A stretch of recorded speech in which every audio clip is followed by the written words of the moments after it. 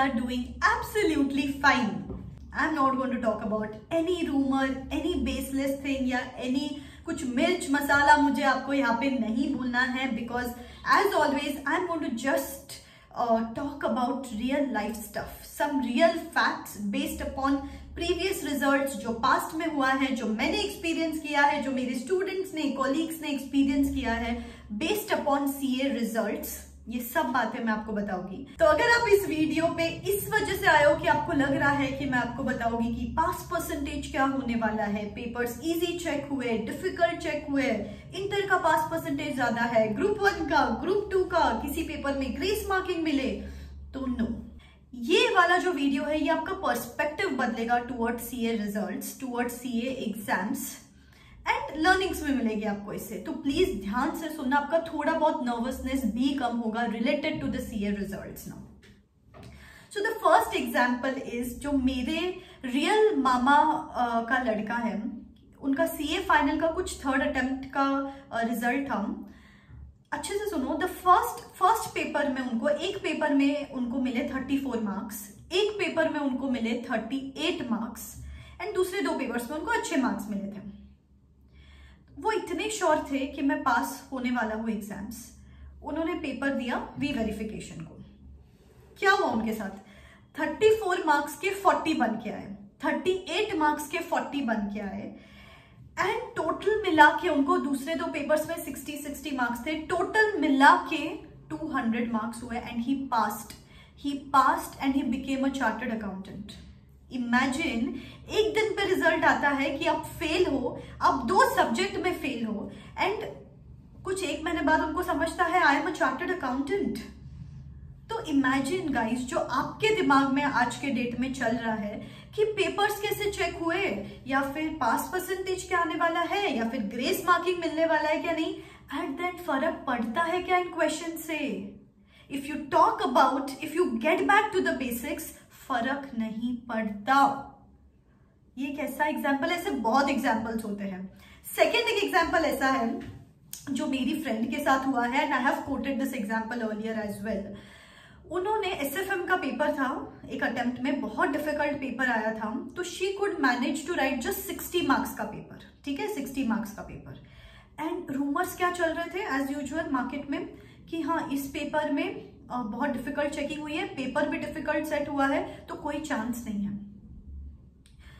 तो इमेजिन वो लड़की तो बैठ गई थी, सोचते हैं कि यार, फिर तो मेरा कोई भी चांस नहीं है। एक तो मैंने हंड्रेड मार्क्स को ऑप्ट नहीं किया, जो सब बोलते हैं हंड्रेड मार्क्स को ऑप्ट करना चाहिए। ऊपर से मैंने I don't know if I written it right और नॉट पेपर डिफ़िकल्ट सेट हुआ है पेपर डिफ़िकल्ट चेक हुआ है I don't know and you know the result came and उनको सिक्सटी में से फिफ्टी सिक्स मार्क्स मिले।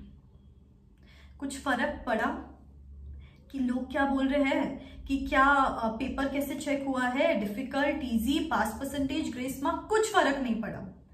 This is what I want to say every scenario is different stop evaluating your marks और your result based upon some baseless things क्योंकि कोई फ़र्क नहीं पड़ता। एट दैट ये क्वेश्चन ही गलत है। This is what I want to tell you thirdly एक और चीज़ ऐसी हुई थी। मेरे टाउन में एक जन रहते हैं। उनको, उनका फ़र्स्ट अटेम्प्ट था सीए फाइनल्स का। फ़र्स्ट ग्रुप में उनको मिले 176 मार्क्स एंड सेकेंड ग्रुप में मिले उनको 234 मार्क्स सेट ऑफ़ में डॉट फोर हंड्रेड मार्क्स पे वो पास हुए। एंड उसी अटेम्प्ट में उनका एक फ्रेंड था जो बोल रहे थे कि मेरे पेपर्स तो बहुत अच्छे गए हैं। And he scored 198 marks actually he failed because of two marks तो सोचो, किसी को कुछ फ़र्क पड़ा आखिर? कोई सेट ऑफ़ में भी पास हो गया जिसके पेपर्स एवरेज गए, और जिसके पेपर्स अच्छे गए, उसको 198 मार्क्स पे भी आके रह गया। 198 मार्क्स किसी को 34 से 40 हो गया, किसी को 60 मार्क्स मिल के 60 मार्क्स लिख के 56 मार्क्स मिल गए। ऐसे बहुत सिनारी होते रहते ये मुझे पता है, और ऐसे बहुत सारे स्टूडेंट्स मुझे काफ़ी सारी कहानियाँ बोलते हैं उनके सीए रिजल्ट्स को लेकर। तो सोचो कितनी सारे ऐसे इंसिडेंट्स होते होंगे।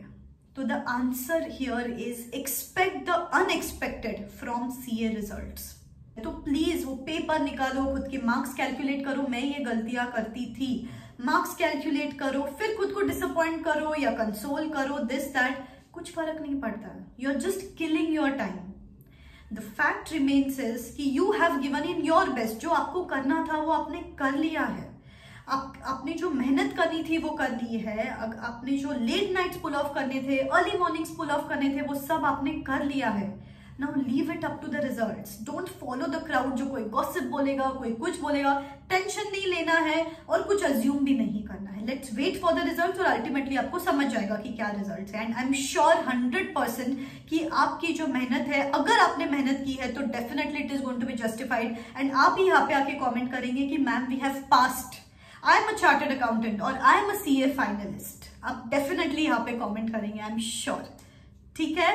So this is what I wanted to tell you because थोड़ा बहुत प्रैक्टिकल होना भी ज़रूरी है। थोड़ा बहुत माइंडसेट थोड़ा सा ब्रॉड करना ज़रूरी है। Don't follow the crowd because just कोई ना कोई अभी बेसलेस चीज़ें बोलते रहेंगे अभी। ठीक है? All the best for your result believe in yourself अच्छा one more update update if you are looking for C A के कोई भी कोचिंग्स अगर आप देख रहे हो तो I would recommend Unacademy guys because यहाँ पे it's actually a one stop solution एक ही जगह पे आपको हर वो चीज़ मिलेगी जो आप एक्चुअली चाहते हो कि एक क्लास में हो.